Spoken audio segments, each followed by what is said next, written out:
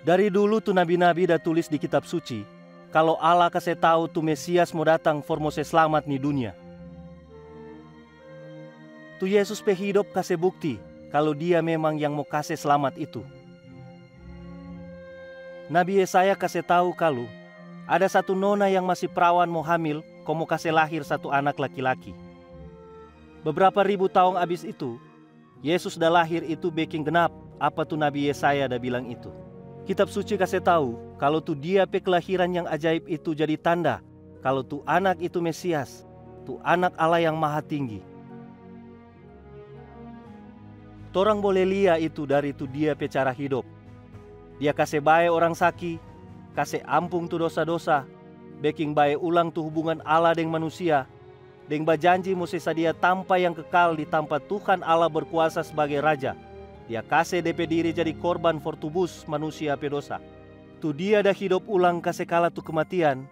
Itu setunjung tu dia pe kuasa atas maut. Yesus babilang, kita ada kuasa mau kasih tu kita pe hidup. Dan kita le ada kuasa mau ambil itu ulang.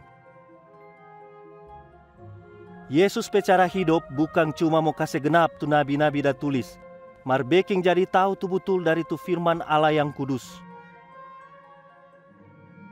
Yesus itu tu firman Allah. Pa Yesus pediri itu Allah mau kasih tunjung yang jelas. Dia pediri pa manusia. Yesus datang for kasih tu hidup supaya orang boleh betul-betul hidup dengan Tuhan. Sama rupa tu manusia waktu pertama kali Tuhan dah baking. Mar dorang baking salah tu Allah pe percaya pada orang Deng nyanda dengar-dengaran tu dia pe perintah. Di kabar baik data tulis, semua orang sobeking dosa, dan tu dosa pe upah itu maut. Manusia yang berdosa boleh mau hidup satu dengan Tuhan. Mar biar le begitu, kalau Allah kasih sedia domba jantan for ganti tu Abraham pe anak, begitu le dia mau kasih Yesus tu juru selamat for mati ganti patorang. Tu dia dah hidup, dia dah mati dan dia dah hidup ulang, itu bikin bagus ulang tuh hubungan antara Allah dengan semua orang yang percaya pada dia. So itu, siapa jo yang iko pa Yesus, pa dia itu bukan cuma dapat ampung tuh dia pe dosa-dosa, marley mau dapat selamat dari hukuman Allah dan mau dapat hidup kekal. Dia babilang, Allah mau kasih ampung tuh orang-orang pedosa yang bertobat dan yang babale ulang pada dia. Yesus leba bilang kalau dia mau kasih roh kudus for mau kasih tunjung tu betul. Dan mau kasih kekuatan for mau iko pa Kristus.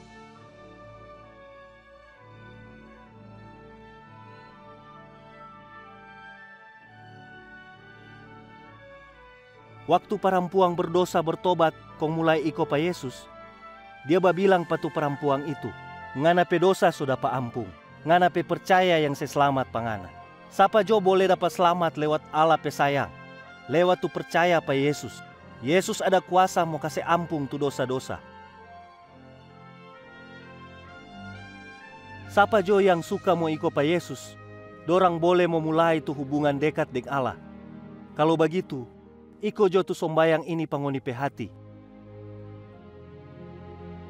Ya Tuhan, Tuhan itu yang betul. Kita mengaku kita pesalah dan kita pedosa.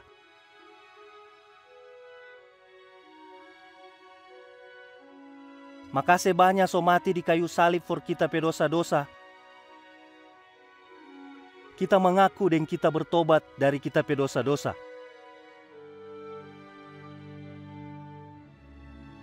Kita buka kita pe hati dan terima Tuhan sebagai juru selamat dan kita pe Tuhan. Makasih banyak so kasih ampung tu kita pe dosa-dosa dan so kasih tu hidup yang kekal.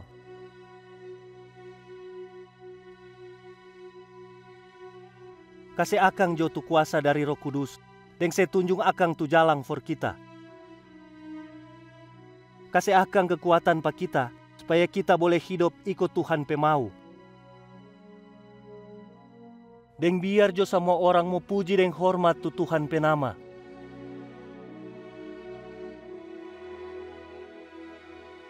Yesus babilang pa orang-orang yang jaiko pa dia. Kita pe orang-orang dah dengar tu kita pe suara kita kenal pada orang kong dorang iko pa kita. Supaya boleh mau rasa tuh hidup penuh berkat yang Yesus dah janji. Tu orang-orang yang jaiko pa dia, babicara pa Allah tiap hari lewat sombayang deng baca tu dia pe firman. Dorang secerita pa orang lain tentang Allah, deng sama-sama jaba ibadah deng orang-orang yang sayang deng yang jaiko pa dia. Dorang ingat tu Yesus pe kata-kata sebelum dia naik ke sorga. Kita so terima semua tu kuasa di sorga deng di bumi. Ngoni taruh kira jo bae-bae. Kita selalu mau sama-sama deng ngoni sampai akhir zaman.